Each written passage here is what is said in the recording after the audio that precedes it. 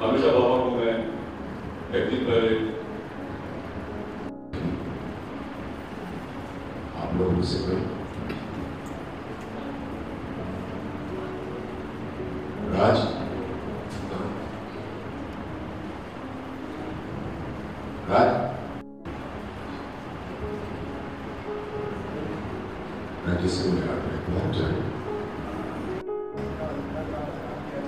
रणजीत कपूर उनके साथी सहभागी उनके साथ चालीस साल से संबंध है।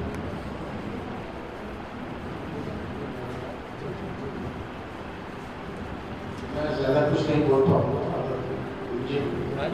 तकलीफ़ होती है। इसलिए इतना कह पाऊँगा कि ये बड़ी विडम्बना है शहर की भी बीस साल से रह रहे थे। लेकिन बस ये सोचते रह रहे थे कब मिले कब मिले कब मिले अब यहाँ आया हूँ तो नहीं उनके साथ बहुत यादें जुड़ी हुई हैं खासतौर पर मेरे बैच की और मेरे साथी अनिल चौधरी की के के रैना के साथ बहुत साथ साथ काम किया है के काम किया तो एक जो बड़ी विशेष बात ये रही कि एनएसपी में दो साल में सीनियर थे लेकिन उन्होंने ये बात कभी महसूस नहीं होने दिया। और मुझे बहुत बाद में पता चला कि वो ओवरऑल मुझसे छोटे थे ओमपुरी के साथ भी यही है कि बहुत में पता लगा कि वो बड़े छोटे हैं। नसीब भी मुझसे उम्र में छोटे हैं। लेकिन मैंने जो उनको कह दिया जो जी जी लगाता था उनके साथ, वो आज तक लगाता हूँ।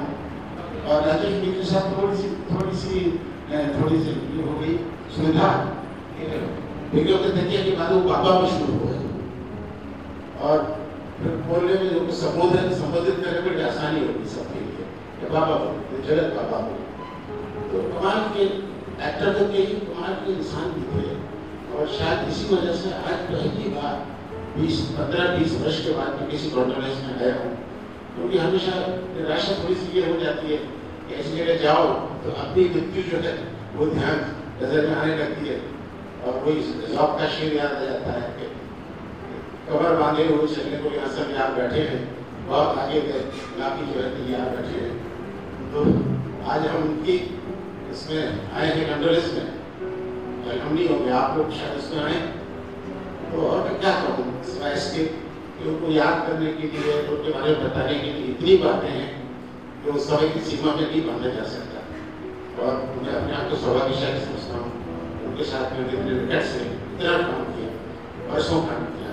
बहुत प्यारे इंसान बस इतने कहूँगा मेरी ओर से क्योंकि आत्मा को शांति की करूँ धन्यवाद रणजीत हाँ हेलो हेलो एक फ़िल्म के अंदर साथ काम किया था। और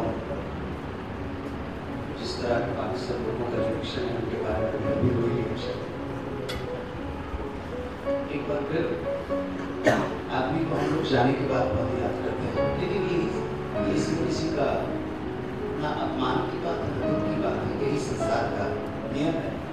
जिसे अभी मेरे ब्रदर्स ने कहा कि जौक का शेर है कि बहुत सारे लोग तैयार बैठे हैं। हम सब तैयार हैं। जिस दिन हमने इस तैयारी को स्वीकार कर लिया कि कल की आती नहीं, आज आ जाए तो मुझे लगता है सौदा बहुत सस्ता हो जाएगा। लेकिन आतुरता रहती है कि नहीं हम जाना नहीं चाहते जीवन को पकड़ना चाहते जीवन कभी पकड़ नहीं।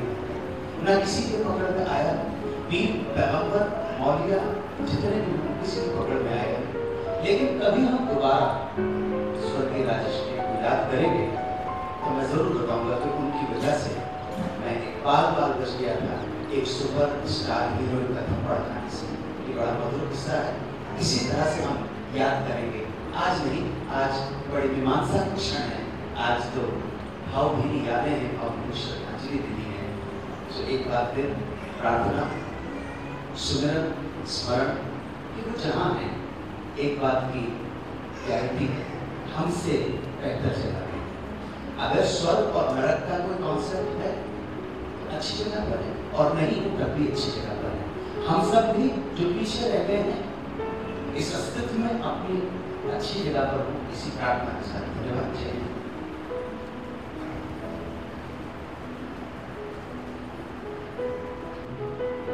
फ़िल्म का नाम अमावस्या है।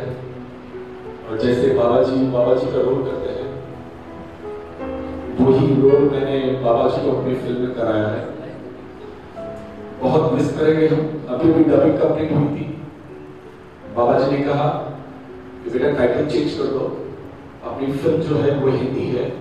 और टाइटल इसका और सबसे डिस्कस करते हुए इस फ़िल्म का टाइटल मैंने अमावस्या रख दिया है। बस बाबा जी का प्यार रहे, आशीर्वाद रहे। आपकी पूरी फैमिली को हमारी तरफ़ से शुभकामनाएँ। थैंक यू है और वो यही रहे। तो हमारे पास डेढ़ कमरा था और रसोई थी। तो डेढ़ कमरे को राष्ट्रीय नाट्य विद्यालय में राजेश विवेक मेरे सीनियर थे, जब स्कूल ज्वाइन किया तो उनके परफॉर्मेंसेस के बारे में कई बातें सुनी थी। डेढ़ इंच ऊपर अंधायु इन परफॉर्मेंसेस के बारे में बहुत सुना स्कूल में रहते हुए कुछ परफॉर्मेंसेस उनके देखी हुई और सौभाग्य से जब मैं राष्ट्रीय नाट्य विद्यालय के रंग मंडल में रहा तो उनके साथ काम करने का मौका मिला। मुख्यमंत्री बेगम का तकिया छोटे से बड़े से, ऐसे कुछ प्लेस थे जिनमें उनके साथ काम करने का मौका मिला। उनसे कुछ सीखने का मौका मिला। बहुत सारी यादें जुड़ी हैं, क्योंकि रेपर्टरी में परफॉर्मेंसेस हम साथ में करते थे, लंबे लंबे टूर्स होते थे तो कई ऐसे प्रसंग होते थे। उनके स्वभाव से आप सब वाकिफ हैं और काफ़ी कुछ उनसे सीखने को मिला। भगवान उनकी आत्मा को शांति